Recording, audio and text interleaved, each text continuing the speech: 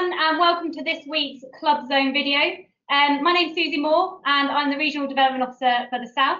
Um, and I'm joined today by Helen from the Royal Victoria Yacht Club, who is the Vice Commodore there, um, to talk about um, what clubs should be doing should there be a potential um, case of COVID transmission within your club. Um, now, the reason Helen is joining me today is due to the Royal Vic recently experiencing a scare in this area, um, and we would like to share um, some of the lessons that they learned to help other clubs be prepared uh, should this happen um, within your clubs. Um, now, I wish to be really, really clear uh, before we get going um, with this, that this was only a scare. thankfully, all tests have come back negative, um, and the club is now back up and operational, um, and they've done a fantastic job of managing this situation. Um, so, Helen, um, just so everyone's clear, um, we know that you're the Vice Commodore, um, but uh, can you quickly describe your role within the club's management in relation to COVID-19 um, and the management um, with this suspected case that you had last week? Thanks, Susie. Yeah. Um, well, obviously, as Vice Commodore, I'm part of the management team and we uh, have been managing the club since the lockdown because all our staff have been on furlough and so on. And also, uh, we set up a COVID-19 team consisting of flag officers and um, other members who had specialist specialized knowledge, which has been very helpful. Um, and we've also been reminding members regularly about the risks of COVID and mitigation measures that we put in place. Um, so you were at the, the heart of the situation that um, unravelled the other week. Um, can you give us a quick overview of what happened and describe the steps that you took to, to manage the club through this suspected case? Sure. Uh, well, last Sunday morning we had a phone call, phone call um, from a family member of this member uh, to say that they'd woken up with a very high temperature, which of course is a symptom, could be a symptom of COVID-19. Um, we were due to have a race that day, so I went to the club and there were already quite a lot of people there, um, including a couple of members of the COVID team, one of whom is a retired consultant, so obviously has really good specialist medical knowledge, which is helpful. So we took the decision that we would obviously cancel the race today and close the club and stop all activities for the foreseeable future, at least until results of tests came back. And we then decided on some wording to send out to the members, um, quite bland, not we didn't want to identify the person for reasons of confidentiality, and also sent a um, email to management colleagues uh, um, in which we did identify a person because I had the family sent to do that. I felt it was important that management were aware of the situation before the general membership.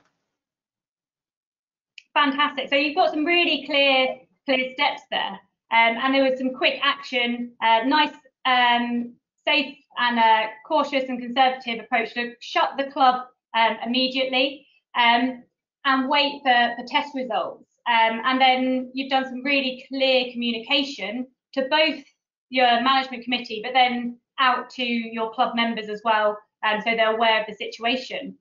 So Helen, you had some really clear steps there. Um, now, should the test have come positive, um, did you had, have any full, um, any next steps um, that you would have implemented? Yeah, if the test results had come back positive, we would have been able to contact all members to let them know and advise them what steps to take. And then we would have contacted NHS Test and Trace or uh, Public Health England um, and shared that information, uh, the members and guests, visitors information with them. So they then the test and trace could kick in heavily. And we would close the club. Fantastic. So you had the, the NHS test and trace in place at the club. You had the contacts of people that had been there, so you could share that, which is fantastic. Great management from um, your side of things there. Um, the club obviously had been closed. Um, what would be the next steps with with the clubhouse, your changing rooms, um, for reopening? Well, with the uh, this specific specific incident, we closed. The club was closed for 72 hours. So um, once we got the test results back, then we could open the club again. The training remain closed at the moment. We have not yet opened them up.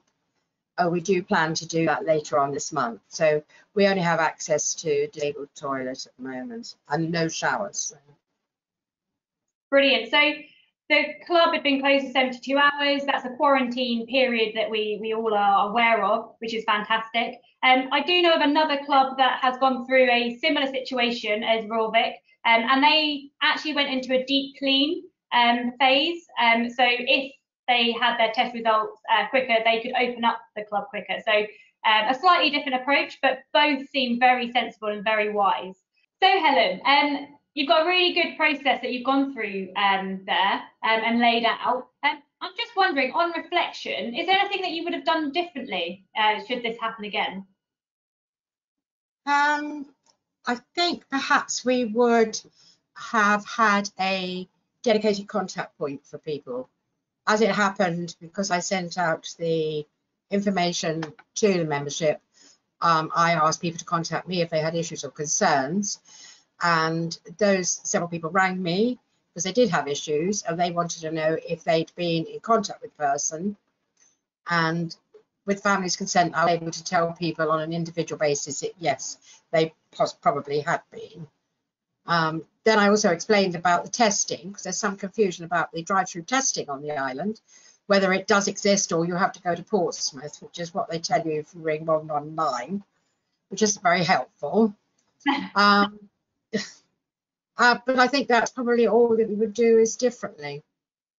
Fantastic. So, you know, having someone um, that is a nominated contact, just in case um, they they have a uh, um, a concern, um, and if someone does test positive, they've got someone at the club to to make aware. So, you know, that's actually a really important learning point that you've highlighted there. Um, and you know, I just want to emphasise that the club did have a really strong action plan um, that um, you uh, executed in that proactive way. Um, and that's really important because, um, as we've been talking about, this is a reactive process.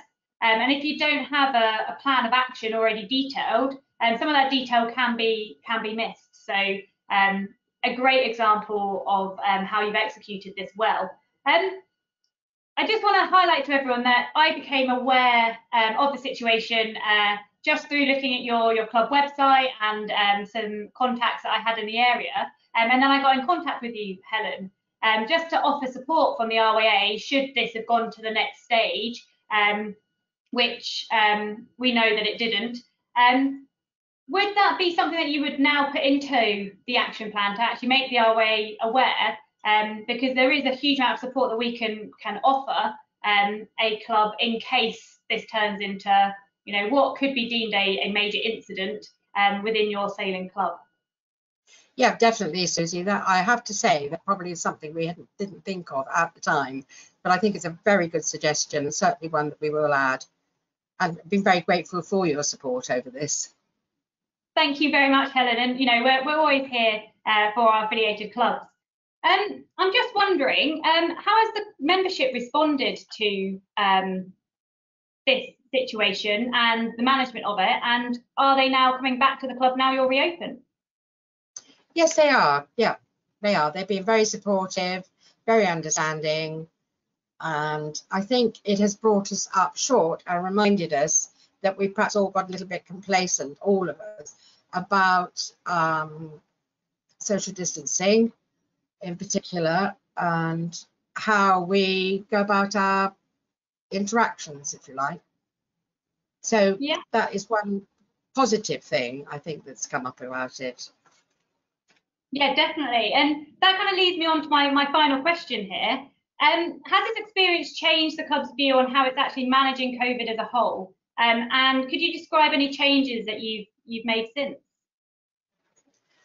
Yes, we've we've certainly tightened up on our social distancing. We're very very lucky because we have a huge expanse of open space, um, which we can use, and we have tables and chairs which can which we set out at a distance of two meters apart, and we've reminded people on many occasions since about um, staying within uh, six people to a table keeping to their household bubbles and and so on. And people have respected that. I think it acted as a reminder for everybody too, too about what, what we should be doing for best practice and to keep ourselves safe.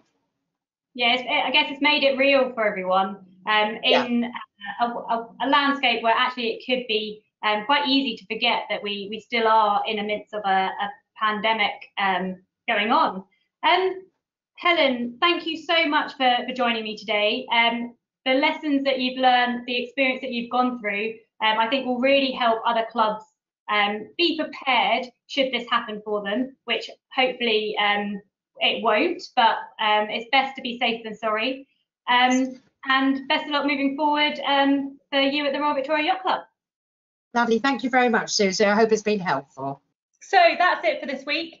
Um, thank you once again, Helen. Uh, the information you provided today, um, I'm sure will be extremely useful for clubs out there uh, dealing with the COVID pandemic.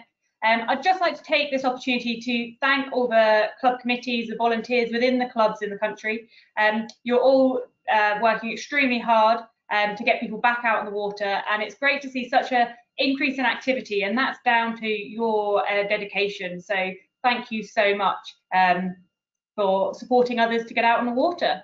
Um, now, I am aware that many clubs are at different stages of return, turning their club to sailing um, and boating. Um, so I just want to highlight that we have been constantly updating our club guidance. It is still available on the Return to Boating websites. So please go and have a read um, and keep yourselves up to date. Um, if you do have any questions, please do get in touch with one of your regional team. Um, and finally, if you do happen to have a suspected case of COVID within your club, uh, the RYA is here to support. So please do get in contact with us uh, using the sports.development at rya.org.uk email address, um, and we can be there um, by your side to help you through that situation.